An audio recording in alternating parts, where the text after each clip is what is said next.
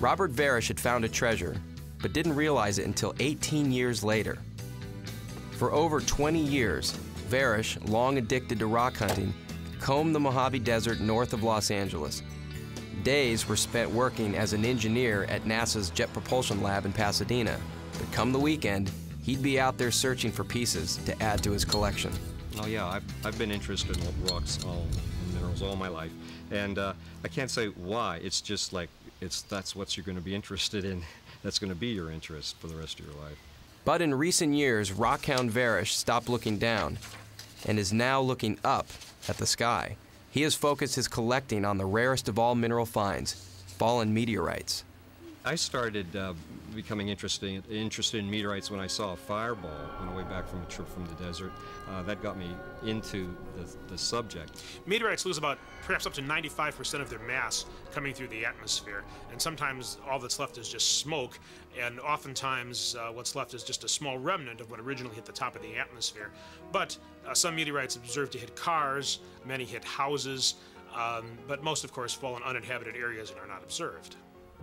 When a meteorite first hits the atmosphere, it begins to glow, heating the air around it, encountering more resistance as it speeds downward into denser layers of atmosphere. These frictional stresses can break the meteorite into little pieces. The fragments start diverging as they finally fall to the ground, forming an elliptical pattern which we call a strewn field. This one meteorite here, Holbrook, fell in Arizona in uh, 1912, and about 14,000 pieces were recovered. These pieces just littered the ground uh, all over the place, and they were just picked up by bushel baskets. And some meteorites are just observed as a single piece, and others have fragmented into even more than 100,000 specimens coming down. Verish couldn't possibly be looking for anything more difficult to find.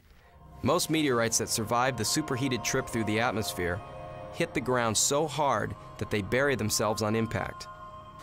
Meteorites are very rare on the surface of the Earth. You could go all day long in most regions uh, and never find one. So you want to look in areas where they're likely to be more concentrated, in areas where there are very few terrestrial rocks to be observed, and so any rock that stands out could be a meteorite. Verish looks in the desert, where meteorites, which are usually dark in color, are a lot easier to spot, at least those visible on the surface. The others are located with the use of metal detectors,